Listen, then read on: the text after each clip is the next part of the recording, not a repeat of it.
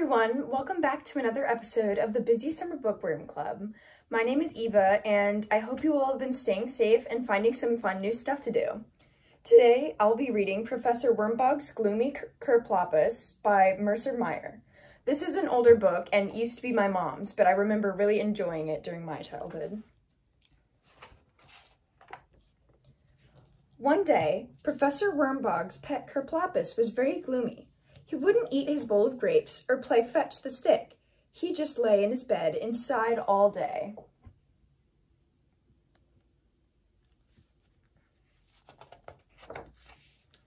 Oh dear, thought the professor. I had better call Dr. Windbag. Surely he'll know what to do. After all, he is a doctor. Dr. Windbag was just fixing himself a cucumber sandwich when the professor called. He put the sandwich in his hat and rushed right over.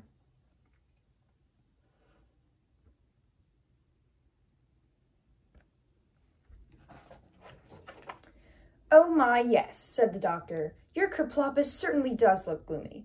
The best thing to do is bathe him in fresh cucumber juice. Call me if he doesn't seem better.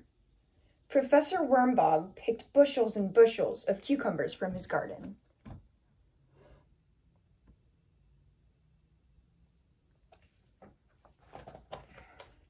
He boiled up a big pot of them and bathed his Kerploppus in the juice all night long. In the morning, the Kerploppus still wouldn't eat his breakfast or fetch his stick.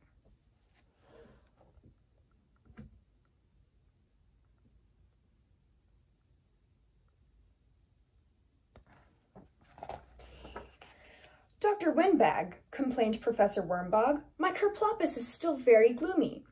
Well, well, answered the doctor, who was just about to mow the yard. Take the little fella on a picnic in the country. That'll surely cheer him up. Off they went to the country, with the Kerploppus all bundled up so he wouldn't catch a chill. The grass was green and all the flowers were in a bloom, but the Kerploppus didn't cheer up.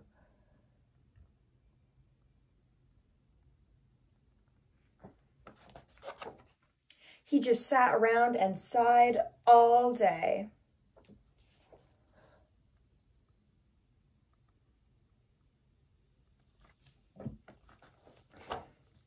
On the way home, they even stopped for burgers and shakes, but it didn't help a bit.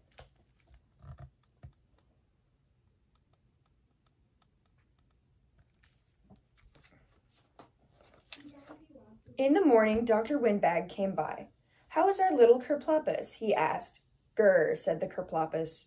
As you can see, he is no better, said Professor Wormbog. This room is very gloomy, said Dr. Windbag. Why don't you paint it with bright, cheery colors? That'll surely make him feel better. Professor Wormbog got some bright, cheery paint from the cellar.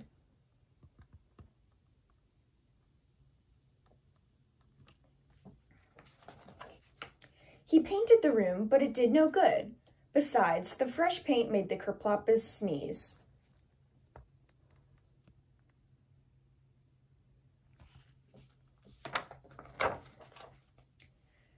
The time while the paint dried, they took a steamship cruise to the South Pacific.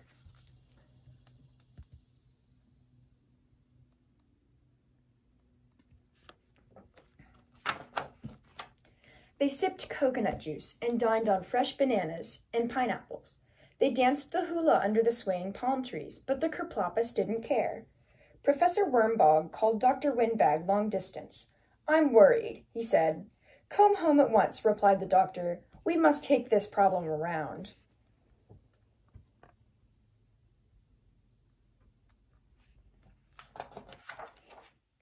They hurried home, and Professor Wormbog rushed his Kerploppus to Dr. Windbag's office. I shall take an x-ray, announced the doctor. He turned on the x-ray machine. My goodness, he exclaimed. What can this be?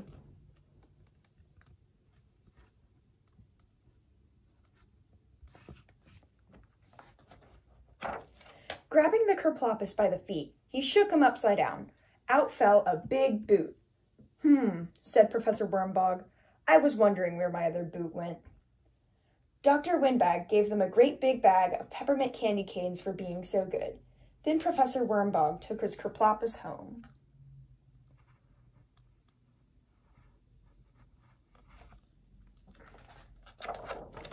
That night, they had a wonderful feast with all the good things the Kerploppus loved. He ate everything, and he was very cheerful indeed.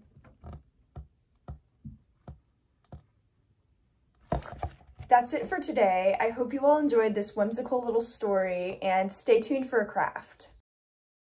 Today we've got a fairly simple craft, which will be the Kerploppus eating a boot.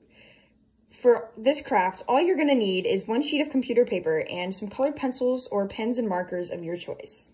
So, first thing you're going to want to do is fold your computer paper in half like so.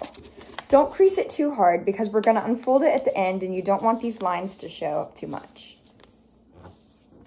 So, once you've got this, with the flap facing out away from you, you're going to want to fold it again in half so you're going to have a thin strip of paper just like this. And again, don't crease it too hard.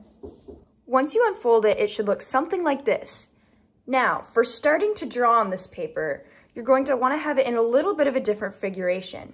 You're going to want to take this flap and place it over this one so that when you bring this up, there's a flap under here, and when you bring this down, there's another flap here.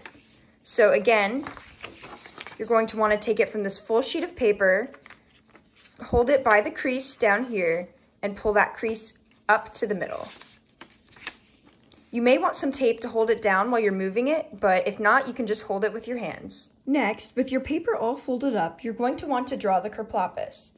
Notice that I used tape to hold it down so it would stay folded the entire time, and also you don't want any designs from the bottom flap going on the top flap or the top flap continuing on to the bottom. You'll see why in just a moment.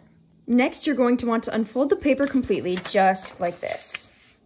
You should have something that looks like this, and it looks a little odd, but we'll fix it up later. What you want to do now is draw the Kerploppus a mouth in the two, the two blank sections that you haven't used yet. Make sure that your lines connect to the ones at the top and the bottom. And if you want, you can even add a little boot, just like how he ate the boot.